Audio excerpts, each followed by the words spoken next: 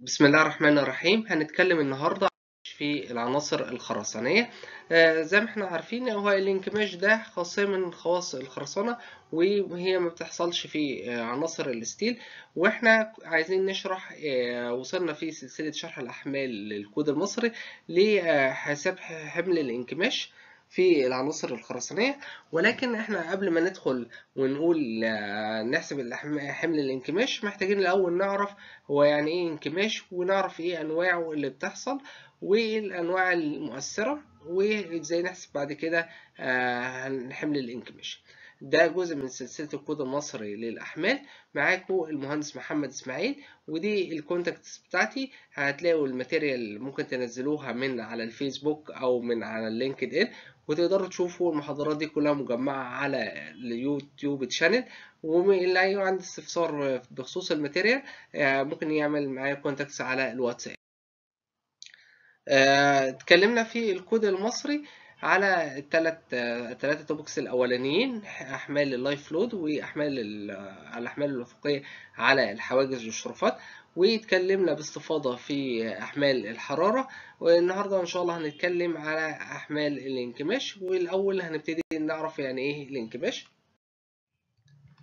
آه، أول حاجة محتاجين نعرف يعني إيه انكماش. ال shrinkage أو الانكماش ده خاصية من خواص الخرسانة وبالتالي إن إحنا لما نقول إن هو حاجة في ال concrete آه، فهي هي خاصية من خوا- خواص ال concrete وليست آه، من بقية العناصر الأخرى زي ما قلنا إن هي ما بتحصلش في ال- ال steel المنشآت المعدنية وما بتحصلش في ال wood اللي هي الخشب ولكن بتحصل في آه، عناصر الخرسانية طيب طب دي بتحصل إزاي؟ إن هي أي مادة خرسانية بتتسلط في الهواء بينتج عنها نقص في طول أو حجم إيه؟ العنصر الخرساني. آه، الانكماش باختصار كده هو يعني حاجة بتكش يعني بتكش ده بتكش مثلا لا إما في طولها لا إما في حجمها. طيب آه، بتكش في طولها أو حجمها ده نتيجة إيه؟ نتيجة إن هي دلوقتي لا إما فقدت عنصر من العناصر المكونة ليها أو إن تكون مركب المركب ده أقل في الحجم من المكونات اللي داخلة آه، في التفاعل طب الانكماش ده قالك ما بيسببش أي مشاكل لو ما كانش فيه ريسترين على الحركة فهو لو أنت مثلا عندك حاجة فيها ريسترين على الحركة fixed من ناحيتين أو فيها restrain من أي نوع تمام ده بيحصل اجهادات شد ويبتدي ان هو الانكماش ده يسبب. ولكن لو انت ابتديت مثلا تعمل فواصل الفواصل دي بتبتدي تقلل إيه؟ الانكماش. زي ما إحنا شايفين في ال background كده ده بعض انواع الانكماش في الخرسانة وال cracks اللي بتحصل هو بيحصل tension تمام؟ فبيحصل في cracks في الخرسانة زي ما إحنا شايفين كده بالمنظر ده. ممكن نشوفها بشكل أوضح كده. دي بعض الأشكال اللي بتحصل كشرنكج يعني ممكن تقابلها وتشوفها. هي دي مش شروخ في العناصر النشائية بكامل قطاع العنصر ولكن هي شروخ سطحية ب... أنت بتشوفها وتلاحظها في الخرسانة. فلما تشوفها تبتدي تعرف شكل لما تشوف شكل الانكماش ده أو شكل الشروخ دي تعرف إن هي أنهي نوع من أنواع الانكماش. بعض الأشكال اللي إحنا هنشوفها دلوقتي مثلا وهنبتدي نتعرف عليها بالتفصيل هي دلوقتي مثلا من أنواع الانكماش في آه، كذا نوع ومن ضمنهم مثلا الانكماش اللدن أو ال plastic shrinkage ده ال plastic shrinkage ده ممكن يحصل فيه كذا شكل من أشكال آه، الشروخ. في أشكال random كده يعني تو- متوزعة توزيع عشوائي أو آه، أشكال بشكل تاني إنها ممكن تكون خطوط مستقيمة ماشية مع حديد تسليح أو شروخ قطرية diagonal زي كما بالشكل ده. في نوع تاني برضو من أنواع الانكماش اللي بتحصل آه، ممكن انكماش بقى اللي هو انكماش بالجفاف اللي هو drying shrinkage ده بيحصل اهوت ده شكل الشرخ. أو مثلا ده لو إيه لو إحنا زي ما بنقول لو أنت مثلا دلوقتي آه، حتة ال restrain أنت دلوقتي هنا مثلا إيه عامل شايف أو مسطح كبير في البلاطات ده. فعامل هنا دلوقتي إيه سايب سايب الحركة مش عامل لها restrain يعني مش عامل لها restrain يعني عامل فاصل هنا في آه، فاصل سطحي تمام؟ في البلاطات اللي هي الخرسانية ديت تمام؟ فهنا مش حاصل أي نوع من أنواع ال shrinkage في البلاطات دي. لكن هنا عشان ديت ineffective joint مش معمولة بشكل مظبوط فحصل في shrinkage اللي هو ال drying إيه shrinkage طيب هنا بقى في البلاطة اللي فوق في restrain من كل ناحية فابتدت تحصل فيها آه أنواع آه بعض أنواع شروخ الإيه؟ الانكماش لكن هنا تحت أنت أنا عشان عامل فواصل في البلاطات ديت فهنا لو هي ال joint دي معمولة مظبوط مش هيحصل فيها shrinkage لكن لو هي مش معمولة مظبوط هيحصل فيها آه نوع من أنواع ال shrinkage زي ال drying shrinkage كان بالشكل ده أو بلاستيك إيه؟ شرينكج آه نبتدي نتعرف بقى زي ما عرفنا قلنا الانكماش ده هو عبارة عن إيه؟ حاجة في الخرسانة بتسبب إن العنصر الخرساني ده سواء طوله زي الكمرات اللي هي الطويلة أو اللي هي حاجة من الكتل الخرسانية الكبيرة زي الدامز أو الرافت أو أي حاجة من الحاجات الكبيرة ديت ممكن تكش كحجم في الايه للعنصر. طب إيه أنواع الانكماش أشهر أنواع الانكماش اللي إحنا هنتكلم عليها النهارده إن شاء الله. أول حاجة اللي هي ال plastic shrinkage وهي الانكماش اللدن بعد كده ال autogenous shrinkage اللي هو الانكماش إيه الذاتي بعد كده هنتكلم على ال carbonation shrinkage اللي هو انكماش الكربنة وفي الآخر خالص هنبتدي نتكلم على ال drying shrinkage اللي هو الانكماش بجفاف. آه دلوقتي بنتكلم على ال plastic shrinkage وهو انكماش اللدن طب إيه الانكماش اللدن ده بيحصل إمتى؟ وبيعمل إيه؟ ونتيجة إيه؟ دلوقتي هو الانكماش اللدن ده بيحصل في المرحلة الأولانية في الخرسانة في أول ساعات من صب الخرسانة وهي بيحصل لها قبل ما يحصل لها عملية إيه؟ تسلط. يعني قبل ما الخرسانة تنشف شوية كده تمام دي في الساعات الأولانية. طب إيه اللي بيحصل أو سببه إيه؟ فقد الماء الحر في الخلطة. دلوقتي الركام ده الكثافة بتاعته أعلى فبينزل لتحت والمية كثافتها أقل فبتطلع لفوق. دلوقتي بقى لما الماء بتطلع لفوق بتبقى معرضة للجو. فبيحصل عملية تبخر وبيكون معدل تبخر الماء من سطح الخرسانة أسرع من معدل إيه؟ للماء اللي هو نزوح الماء إلى سطح الخرسانة وبالتالي بيحصل الانكماش إيه؟ اللدن ده شكل من أشكال الانكماش اللدن اللي هو ال plastic shrinkage زي ما إحنا شايفين كده. وشفنا في ال slide اللي كانت قبل كده. تمام؟ بعض الأش... أنواع شروخ الانكماش اللدن وهنشوف بعد كده أشكال أخرى من أشكال ال plastic shrinkage ده شكل كده بيوضح إيه اللي بيحصل في ساعة الانكماش اللدن دلوقتي الخرسانة اتصبت. الخرسانة ديت دي دي اتصبت في لسه في الساعات الأولانية قبل ما بيحصل لها تسلط. الطبقة ديت دي معرضة للجو تمام؟ والطبقة ديت هي طبقة تحت مش معرضة للجو زي ممكن تكون رافت مثلا كبيرة. دي ما فيهاش إيه انكماش ولكن هنا مثلا المية اللي هنا بتطلع بيحصل لها تبخر فبيحصل جهادات شد هنا فبيحصل كراكس في الخرسانة.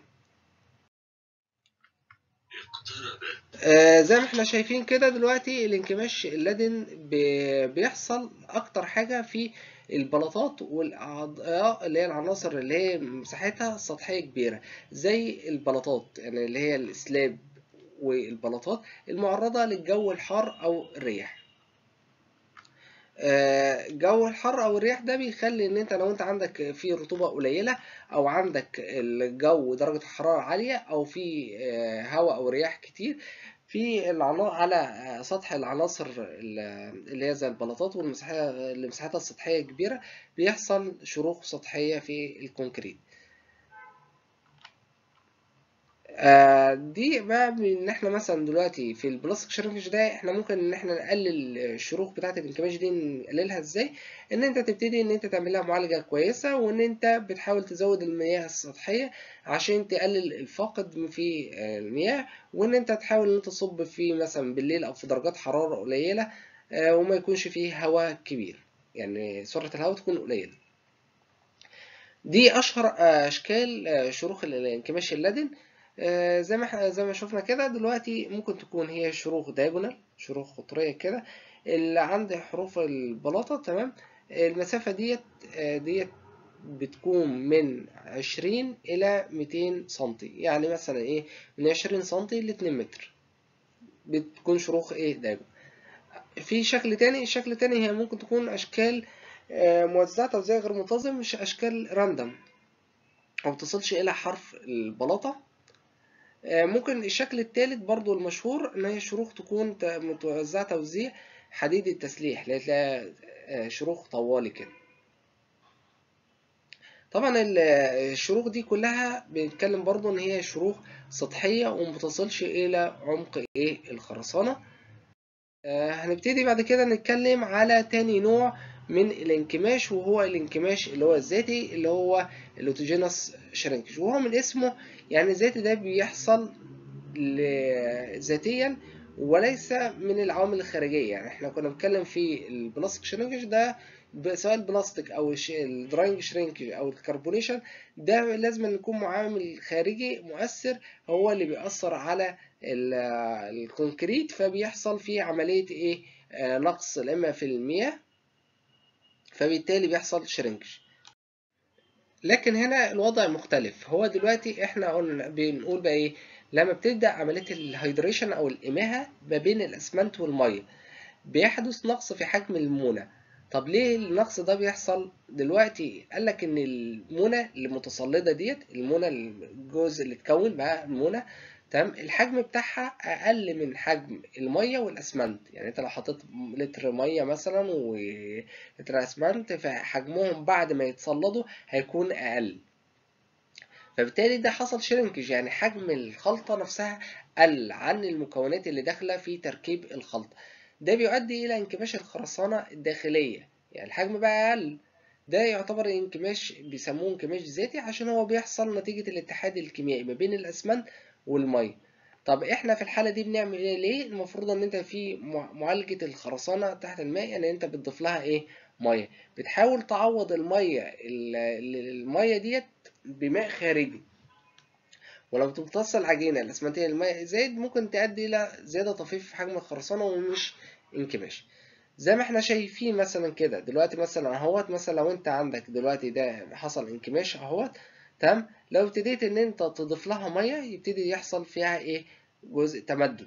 لو أنت هي جفت هتبتدي إيه؟ تقل. فديت عملية متكررة من إن أنت عمال بتزود إيه؟ مية خارجية عشان تحافظ على إن إن الخرسانة ما يحصلهاش انكماش نفس الكلام لو أنت عالجتها في مية بيحصل لها تمدد.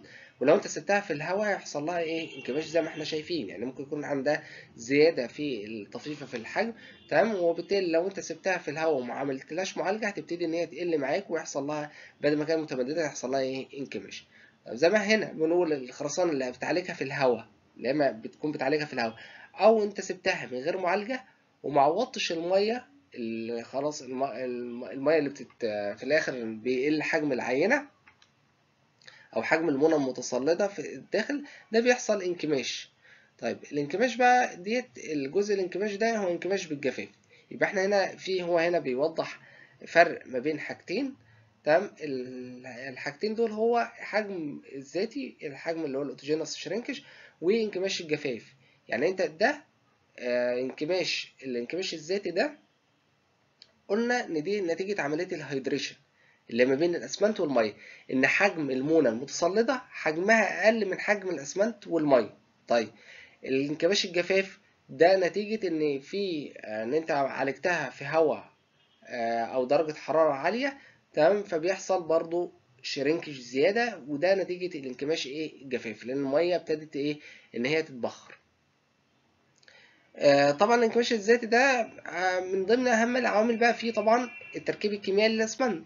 وكمية المية في الخلطة ودرجة الحرارة. قيمة الانكماش ده ممكن توصل لقد إيه؟ ممكن توصل اللي هي point 1 ملم لكل متر. ده الانفعال اللي هو ال strain.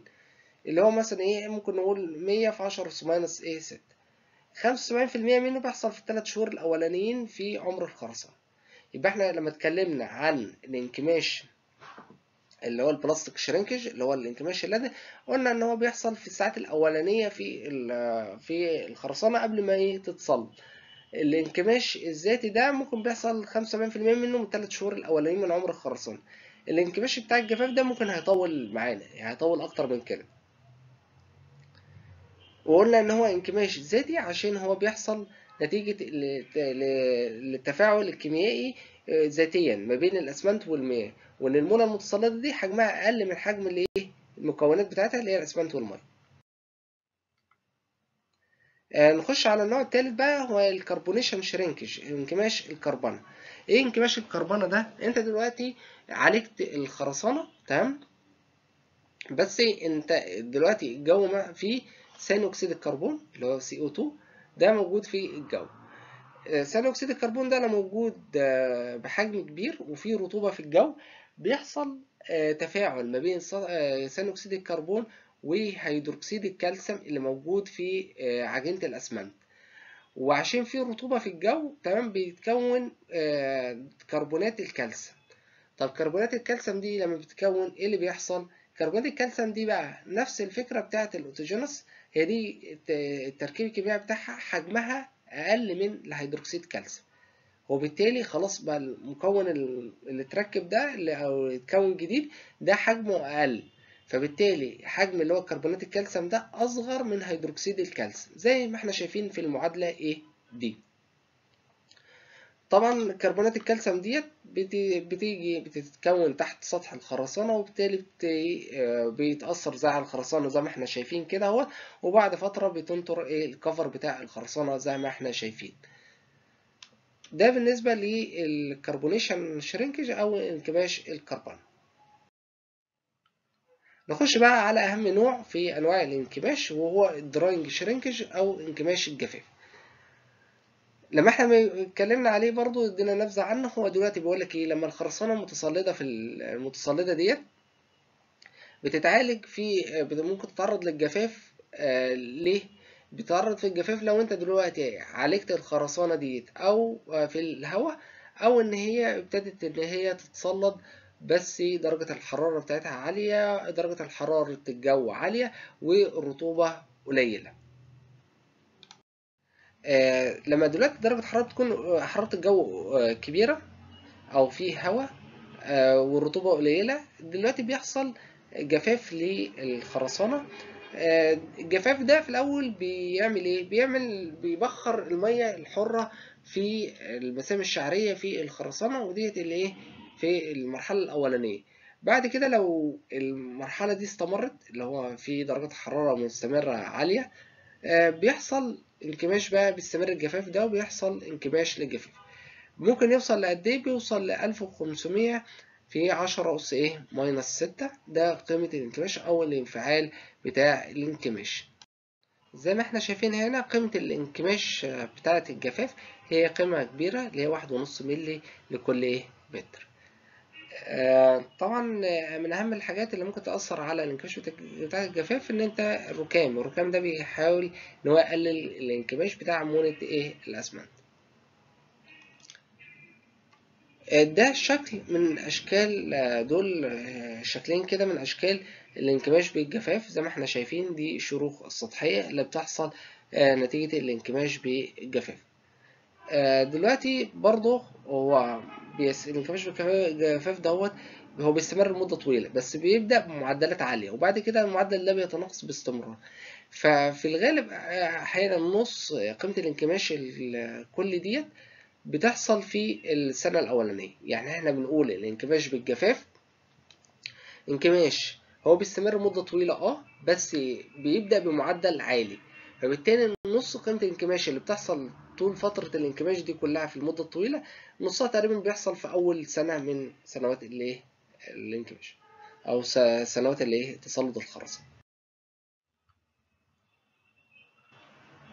دي بقى صورة بتوضح هو دلوقتي ديت مثلا هي بلاطة خرسانية مثلا أو عنصر خرساني ال solid ده كده ده هو عبارة عن ركام in between ما بينهم ده العجينة الأسمنتية والمونة الأسمنتية اللي بالأزرق ده ديت المية الحرة أو في المسام الشعرية للخرسانة ديت إيه المياه. آه zoom in عليها كده هتبتدي تبص تشوف أهي ده كده مسام شعرية وديت المية في داخل الخلطة الخرسانية.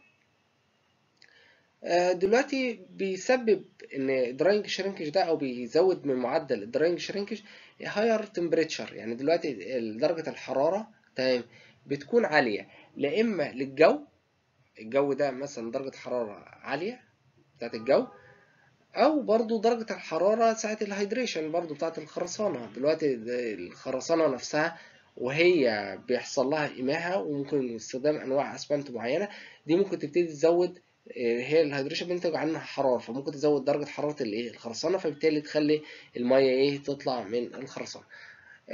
lower humidity يعني دلوقتي الرطوبة قليلة فلما يكون جو رطوبته قليلة يعني معناه إن جوه جو جاف وشره للمياه. فبالتالي هو عايز يتشبع بالمياه فممكن يسحب المياه من الأسطح الخرسانية من المسام الشعرية من من الخرسانة.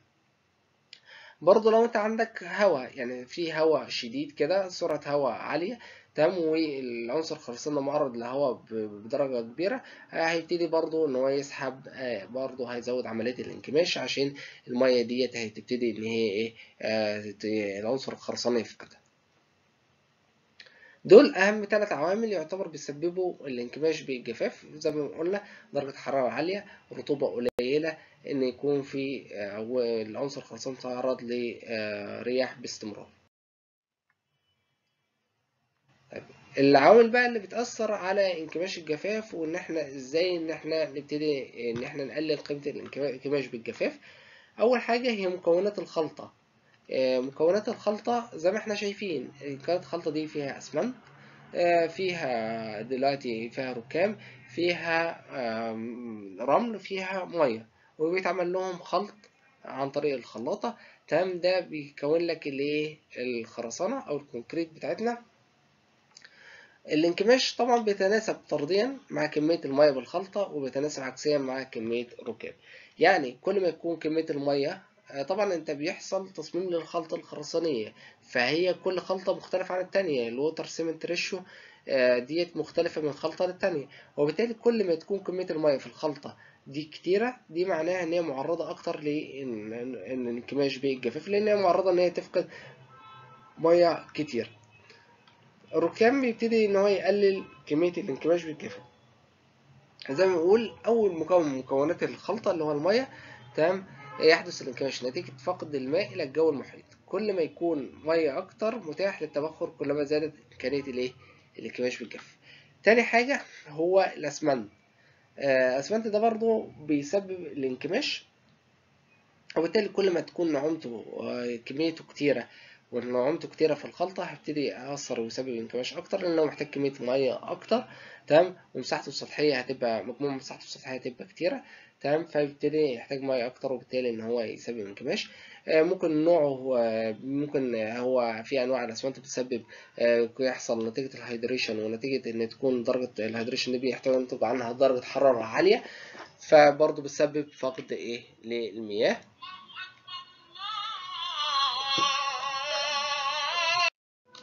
برضو معانا برضو من الحاجات اللي بتأثر برضو في الانكماش من مكونات الخلطة هي الركام. الركام ده كل ما الركام ده كميته بتزيد فبيشغل حجم في مكونات الخلطة وبيكون مساحته السطحية طبعا أقل من الأسمنت. فالركام ده بيعمل على إن الانكماش ده بيقلل على زيادة تأثير الركام بيقلل الانكماش بتاعة مونة الأسمنت طبعا فبيقول لك لو أنت بتستخدم ركام بقى المساحة السطحية بتاعته أقل ما يمكن بيساعد على تقليل محتوى الماء في الخلطة وبالتالي بيعمل على تقليل إيه؟ الانكماش طبعا زي ما إحنا عارفين إن الركام بيبقى في أنواع منه. طبعا في حاجات بتبقى مساحتها السطحية قليلة وفي حاجات مساحتها السطحية طبعا إيه؟ كبيره تاني حاجة بقى من الحاجات اللي بتأثر على الانكماش بتاع الجفاف هي معالجة الخرسانة ودي من ضمن أهم الحاجات. يعني إحنا لو اهتمينا بال curing بتاع الخرسانة أو معالجة الخرسانة طبعا هنقلل كمية الانكماش بكمية كبيرة. هنبتدي ممكن نتلاشى الانكماش وتأثيره والإجهادات والشروخ بتاعة الانكماش طبعا بتعمل معالجة الخرسانة على تقليل الفقد الحراري وبالتالي تقليل فروق الحرارة في الأعضاء والعناصر الخرسانية. كما أنها في نفس الوقت بتقلل فاقد من ماء الخرسانة هي بتعمل إيه؟ بتعمل على تعويض المياه اللي بيتم إيه فقدها من إيه الخرسانة. وبالتالي بتساعد برضو إن هي بتقلل معدل الانكماش وبتقلل الشروخ بتاعة الانكماش. وبتقلل لك برضو الإجهادات الشدة اللي بتنس... بتحدث نتيجة إيه؟ آه شروخ الانكماش. وبالتالي إن بيعتبر إن إحنا بنقول معالجة الخرسانة ديت دي من أهم الحاجات تمام اللي بتساعد على إن نقلل الشروخ عامة. هي بتعمل على التعويض الفاقد في المياه بتاعة الخرسانة. الحاجة التالتة بقى درجة الحرارة والرطوبة. درجة الحرارة والرطوبة ديت هي يعتبر العوامل الجوية. آه، فطبعا إحنا بنقول لو أنت مثلا قلنا الرطوبة لما تكون قليلة تمام هيزيد معدل الفقد بتاع إيه؟ المياه. وبالتالي هيزيد الانكماش وبالتالي نفس التأثير برضو بتاع درجة الحرارة. درجة الحرارة لما بتزيد تمام؟ درجة الحرارة. لما بيزيد إيه اللي هيحصل؟ الانكماش برضو هيزيد. ودرجة الحرارة فبالتالي من أهم الحاجات برضو إن أنت لما تيجي. عملية الصب في ناس كتيرة بتعمل إيه؟ بتصب ال- الخرسانة. وخاصة لو هي كميات كبيرة بتصبها بالليل عشان تقلل درجة الحرارة وتكون الرطوبة بتاعتها إيه؟ آه، أحسن. فبتكون درجة الحرارة قليلة. وبالتالي إن هو يبتدي إيه لما يصب بالليل يقلل درجة الحرارة الجو اللي هي العوامل الخارجية فما يحصلش فيه شرينكج بكمية كبيرة فبالتالي من أهم الحاجتين اللي إحنا المفروض نهتم بيهم هي معالجة الخرسانة ودرجة إيه الحرارة آه، والرطوبة وبالتالي برضو في نفس الك... في نفس الوقت هو دلوقتي لو عندك كتل خرسانية كبيرة آه، في بي- بتستخدم لها نوع اسمنت آه، أسمنت مائي اللي هو بدرجة حرارة الإماهة بتاعته بتبقى قليلة. وفي نفس الوقت برضو لو أنت بتقيس درجات الحرارة وبتشوف فرق درجات ما بين منتصف الكتلة الخرسانية والسطح بتاعها within limit معين within الكود تمام؟ وبتحاول إن أنت إن أنت ممكن تحط في الخلطة الخرسانية ماء مثلج أو إن هو يعني درجة حرارة المية تكون قليلة جدا. ولو برضو عندك الكمية كبيرة جدا وبرضو الموضوع مش نافع ممكن بيمشوا مواسير. المواسير دي بتخش جوه الكتل الخرسانية بي- بتعمل heat exchange تبادل حراري وبيمشي فيها مياه باردة. بحيث إن هي تقلل آه، درجة الحرارة جوه الكتل إيه الخرسانية.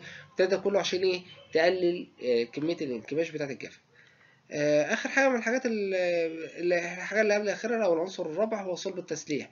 صلب التسليح ده بيساعد بدرجة كبيرة تمام إن هو على انكماش إيه؟ آه تقليل انكماش الخرسانة. وبالتالي انكماش الخرسانة في المسلحة أقل من انكماش الخرسانة إيه؟ العادية.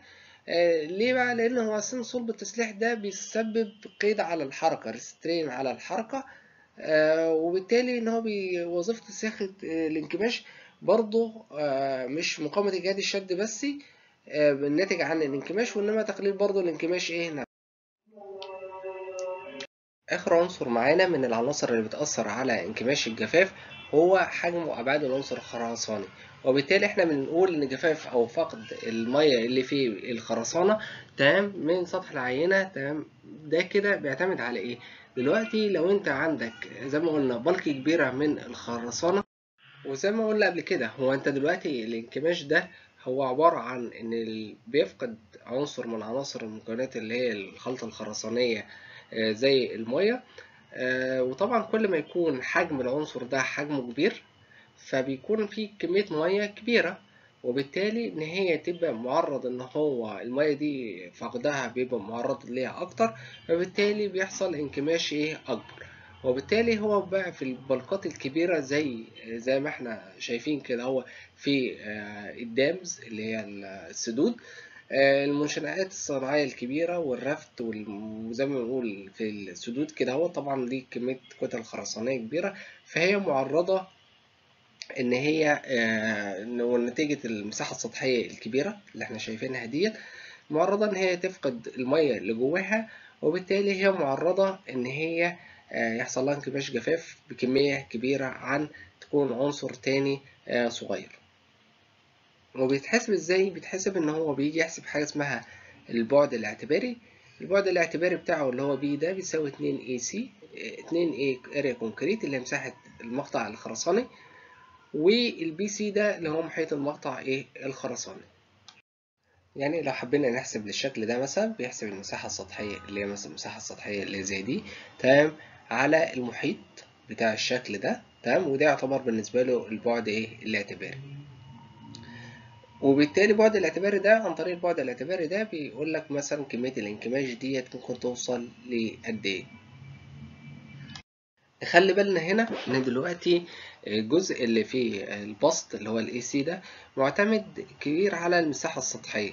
وبالتالي أنت المساحة السطحية آه، بتبقى فيه مشكلة كبيرة بقى لو إيه؟ لو أنت عندك مسطح كبير جدا تمام؟ والمسطح ده ال thickness بتاعه قليل. فهيديك انكماش زي انكماش حاجة كبيرة بالمنظر ده. وبالتالي بتبقى الانكماش ده مؤثر جدا تمام؟ لما تكون البلاطات ديت ال thickness بتاعها رفيع تمام؟ ومسطحها كبير جدا. شوف كده دلوقتي القيم الاسترشادية لانفعال الانكماش اللي هو ال strain والجدول ده معمول مليمتر لكل إيه؟ متر. بيديك هنا إيه؟ بيقول لك أنت حالة الجو لو هو جاف جو جاف أو جو رطب. جو جاف ده مثلا لو الرطوبة بتاعته خمسة وخمسين في المية لو جو رطب يعني بنتكلم في خمسة وسبعين في المية. هنا بيقول لك العمر المعتبر عنده انكماش هو عايز يحسب الكماش عنده عمر قد إيه؟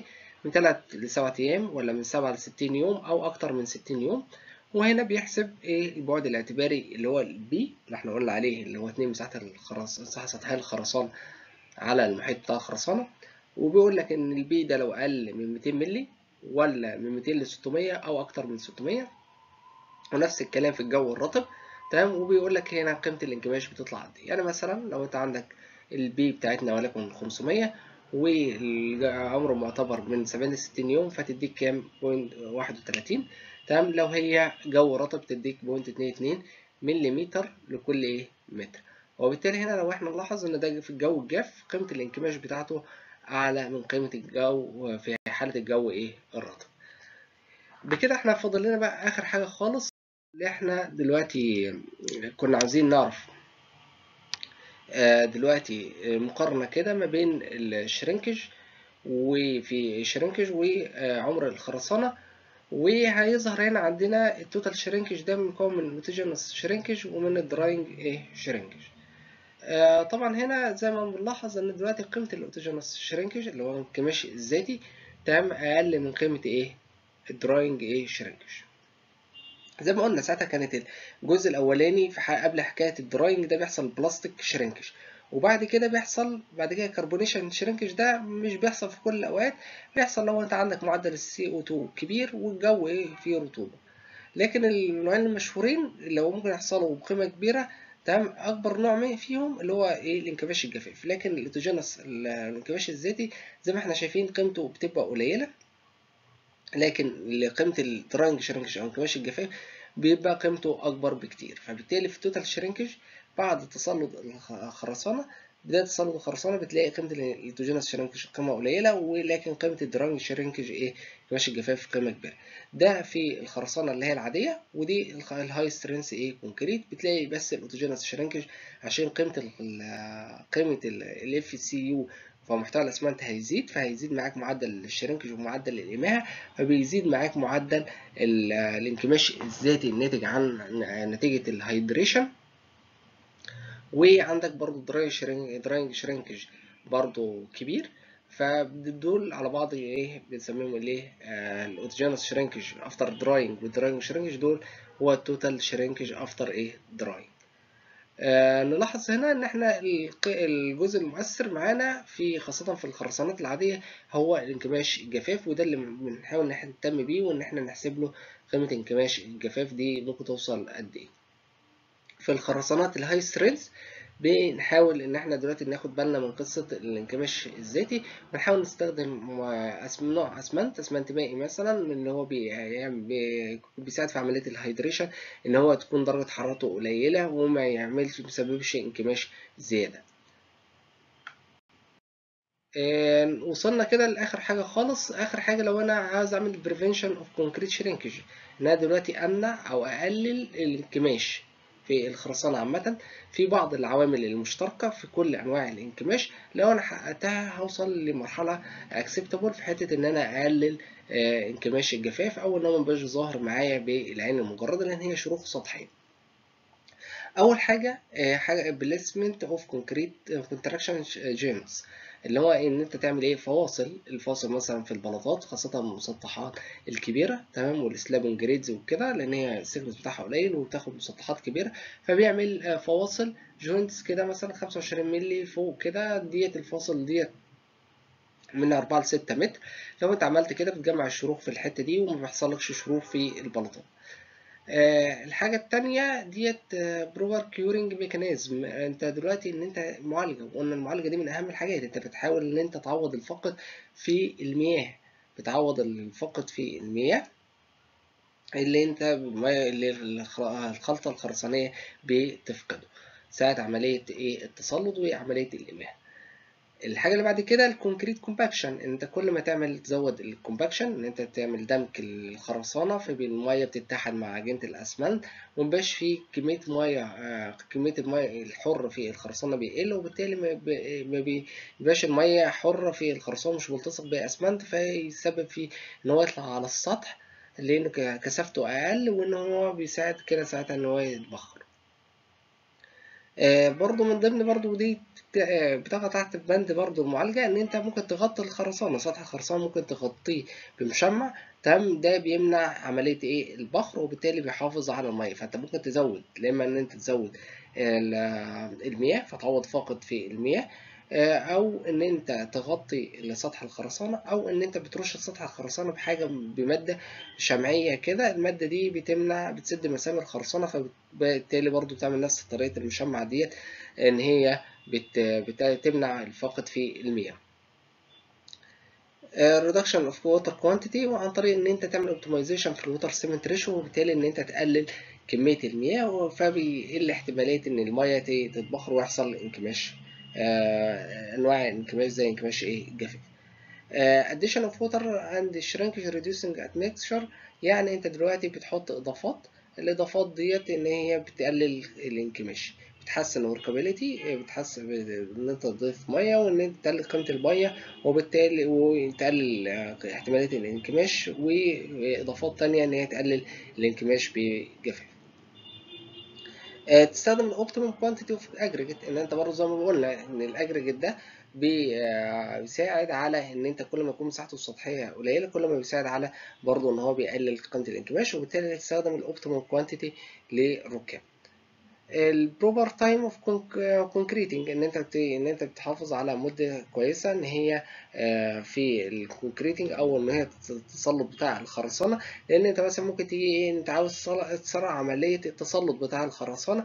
فبالتالي إن أنت بتستخدم أنواع أسمنت زي في ال high strength والحاجات اللي زي ديت ان معدل الشك بتاعها سريع. فبالتالي إن يحصل ال hydration بيبقى عالي. فبيحصل فيها مثلا plastic shrinkage وأنواع shrinkage بكده نكون وصلنا لآخر حاجة إن إحنا إزاي بنقلل تعرفنا على إيه هو الانكماش وتعرفنا على أنواع الانكماش المختلفة وقلنا ان في أربع أنواع وتعرفنا بالتفصيل وايه العوامل المؤثرة فيهم وتعرفنا آخر حاجة إن إحنا إزاي نقلل أو نمنع الانكماش في الخرسانة. إن شاء الله المحاضرة الجاية هنبتدي نتكلم إزاي نحسب حمل الانكماش الانفعال اللي هو السترين بتاع انكماش الجفاف والحمل بتاع انكماش الجفاف زي ما هو موجود في الكود المصري وشكرا.